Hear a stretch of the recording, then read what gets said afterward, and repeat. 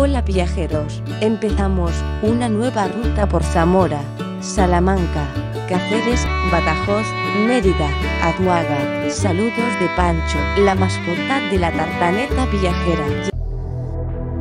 Estamos en Azuaga, el conjunto histórico artístico más fácil de visitar y disfrutar de la provincia de Badajoz, porque en Azuaga, casi todo lo interesante está dispuesto a lo largo de una calle muy larga. Después, a trasmano, queda la Plaza de Toros de la última década del siglo XIX y una de las más particulares de la península ibérica por tener un coso de forma ovoidal. También queda un poco lejos de la calle central la llamada Fuente Atenor.